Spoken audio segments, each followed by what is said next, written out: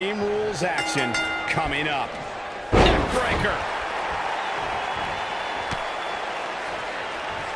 And another reversal. Seems like we're back where we began, Michael. A striking blow.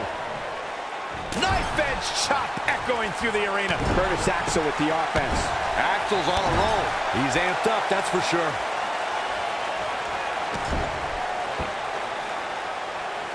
Oh, stomping away. Forearm right across the back of the neck. Macho Man hurting a little here. At the risk of stating the obvious, this is not how you succeed in an Extreme Rules match. I'm just saying. Bang right in the face.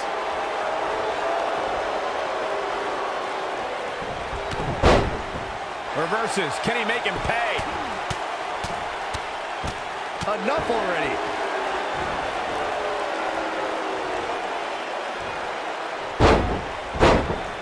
Ah, what a smash. That is just insulting. Oh, man, targeting the leg.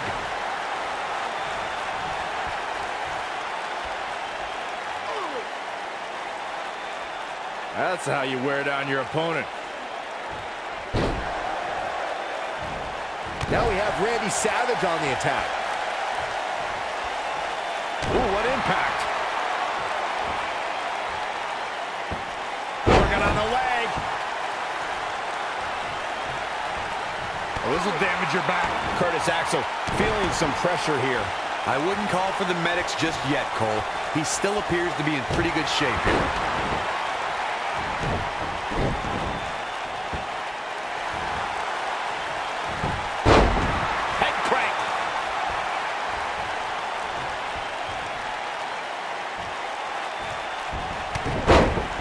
Randy Savage just too fast for him. Enough already.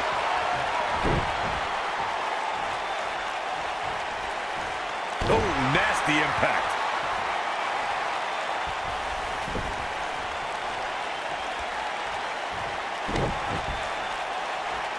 At the oh, oh my goodness, crushing it.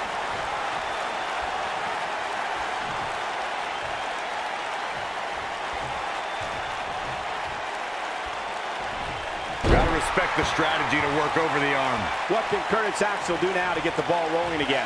Oh, man, his chances are dwindling quickly. He's just taken on so much punishment. Not many can move like that. Perhaps he's thinking the ring can't contain what he has in mind here.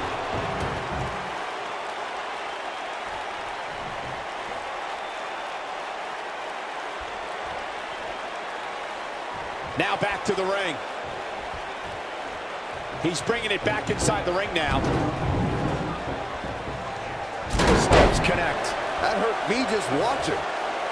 Gets him with the steps. I believe that's twice now with those steps.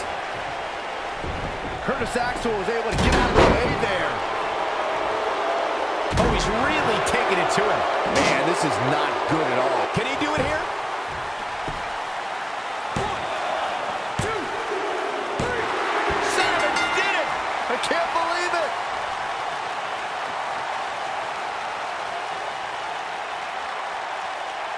A lot of good action in that one. Here's another look.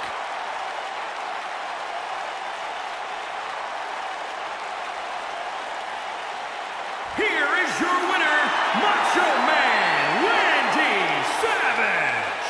A very impressive victory for Randy Savage. Tonight's victory was Savage at his best. We have Macho Madness running through the entire WWE Universe.